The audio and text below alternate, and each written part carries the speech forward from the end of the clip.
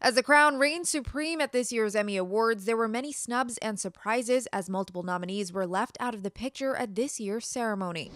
A notable snub of the night was 21 time nominee The Handmaid's Tale. The Emmys' darling had previously been the only streaming series to win Best Drama, taking the top prize in 2017.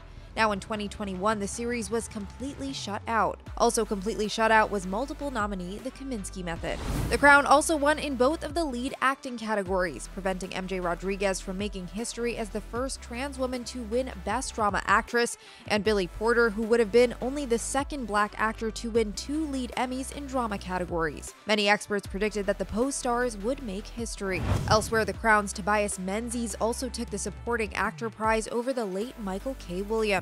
Who many experts expected would win in a posthumous honor for the actor who just died earlier this month. Disney Plus's WandaVision was another big snub of the night. The acclaimed series scored the second most Emmy nominations this year with 23, and despite winning three Emmys at the Creative Arts ceremonies, walked away with no awards during the CBS broadcast on Sunday night. Both halves of the WandaVision pair walked away unsuccessful, with Elizabeth Olsen losing out to Kate Winslet in the lead actress in a limited series field, and where Paul Bettany was the presumed favorite, the Best Actor award instead went to Ewan McGregor.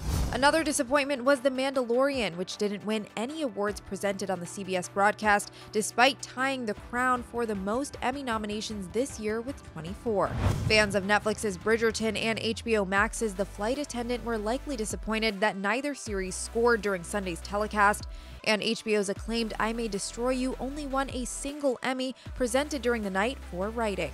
And a major disappointment that spread throughout the night was that I May Destroy You and Michaela Coel's writing win was only one of the rare prizes during the 2021 Emmys captured by a person of color, as white stars dominated the awards despite a diverse slate of nominees. To read up on more of this year's Emmy snubs and surprises, head to THR.com.